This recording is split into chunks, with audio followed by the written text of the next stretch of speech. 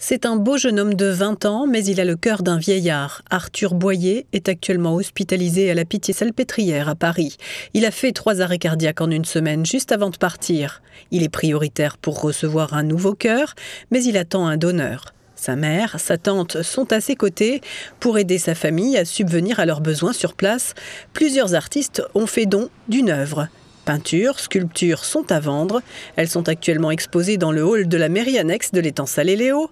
Aujourd'hui, un photographe vient déposer l'un de ces tirages. J'ai vu ça sur les réseaux sociaux en fait et j'ai voulu participer euh, en tant qu'artiste, euh, en photographe aquatique à, cette action. Ça résonne aussi un petit peu chez moi puisque je fais aussi de la photothérapie avec certains des modèles qui ont euh, la phobie de l'eau, qui ont des difficultés aussi sur l'approche de leur image. L'idée de cette collecte d'œuvres, c'est Karine Lallemand qui l'a lancée sur les réseaux sociaux la semaine dernière.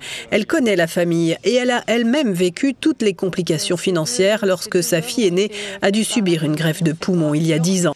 Karine est en contact quotidien avec la famille d'Arthur. Aux dernières nouvelles, ça va. Il est toujours dans l'attente de, sa greffe. Il est, euh, il est réveillé parce qu'il a voyagé dans un coma artificiel pour préserver, on va dire, son cœur. Euh, on l'a réveillé doucement. Il commence à manger, à, faire des petits signes, des sourires, des clins d'œil euh, pour montrer à sa famille qu'il est, voilà, qu'il est, qu'il est là et qu'il est motivé.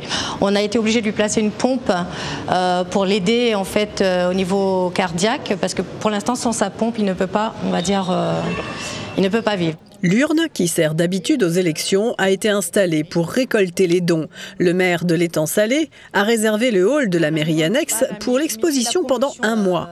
Il a directement mobilisé le centre communal d'action sociale. Une aide de 600 euros a déjà été versée à la famille d'Arthur. Le budget global des aides d'urgence sera même augmenté l'an prochain.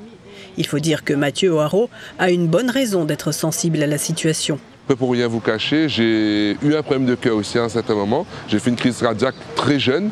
Donc aujourd'hui, je vis avec ça tous les jours, un traitement tous les jours. Donc les traitements de cœur, ce sont des traitements comme assez lourds.